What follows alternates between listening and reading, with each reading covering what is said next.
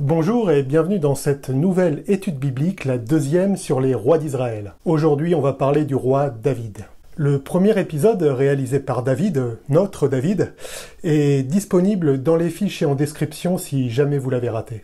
Alors pour cette étude sur le roi David, je propose simplement de dérouler le fil de sa vie et les principaux événements qui s'y rattachent. Au cours de ce récit, on va s'arrêter sur euh, trois épisodes marquants et voir les pistes de réflexion et d'édification personnelle qu'il propose. Alors l'histoire de David couvre une grande partie des textes bibliques qui se rapportent à la royauté. On avait vu la semaine dernière qu'il est déjà présent dans le premier livre de Samuel en tant que membre de la cour du roi Saül. Le livre central du règne de David est le deuxième livre de Samuel. On note enfin que la plupart des psaumes lui sont attribués par la tradition. David est né à Bethléem de la tribu de Juda. Il est membre d'une grande fratrie. Il reçoit l'onction d'huile très jeune alors que Saül est encore roi. Je cite Samuel prit la corne pleine d'huile et il en oignit David en présence de sa famille.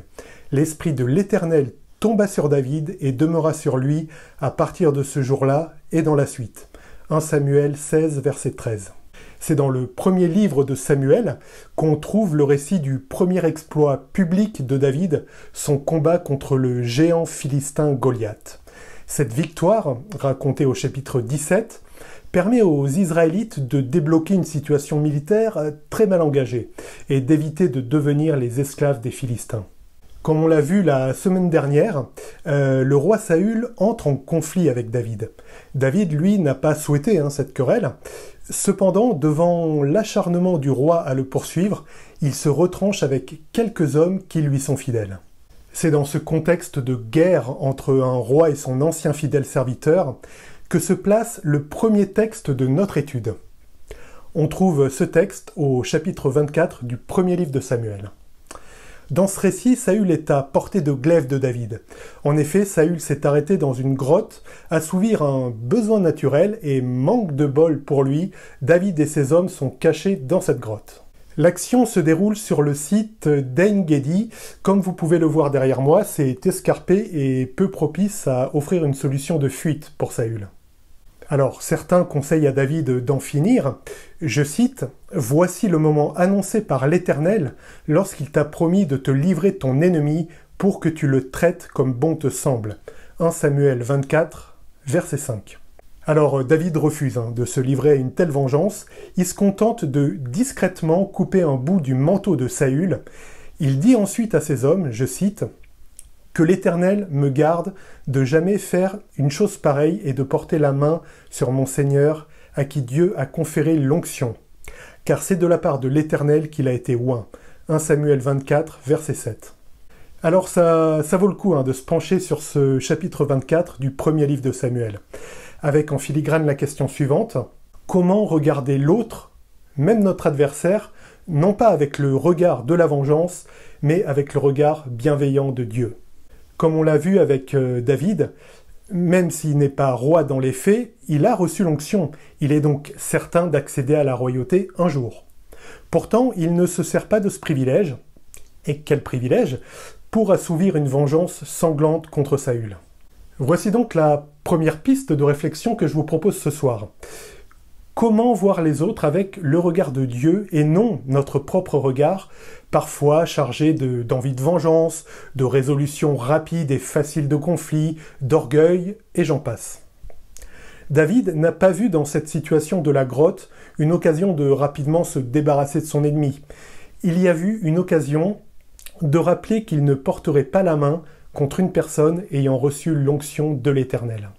Après la mort de Saül, David est contesté par Ishboshet, un des fils de Saül. Du coup, il ne règne euh, au début que sur Juda à Hébron, comme le mentionne le chapitre 2 du deuxième livre de Samuel. Les guerres civiles vont ponctuer en fait le règne de David. La première est contre les partisans d'Ishboshet, justement. Suite à l'assassinat de ce dernier, David devient roi sur tout Israël, je cite, David était âgé de 30 ans à son avènement, et son règne dura 40 ans. Il régna sept ans et six mois sur Juda à Hébron, et il régna trente-trois ans sur tout Israël et Juda à Jérusalem. De Samuel, chapitre 5, versets 4 et 5. On situe en général les 40 ans du règne de David au tournant des 11e et 10e siècles avant Jésus-Christ. David est un chef de guerre. Il termine en quelque sorte le boulot de Josué. En effet, certaines, certaines enclaves restaient à conquérir, comme Jérusalem, occupée par le peuple des Yébousiens. David conquiert la ville et mène ensuite une campagne militaire victorieuse contre les Philistins. Jérusalem acquiert son vrai statut de capitale du royaume d'Israël quand l'arche d'alliance y est transportée. On peut lire ce récit au chapitre 6 du deuxième livre de Samuel. Alors de nombreuses victoires sont évoquées, hein, notamment avec l'appui de Joab, le commandant en chef de l'armée d'Israël. Cette période faste, qu'on peut considérer peut-être comme la période heureuse et glorieuse du règne de David, va prendre fin de façon assez brutale. On en arrive au deuxième texte qui nous intéresse aujourd'hui, la double faute de David.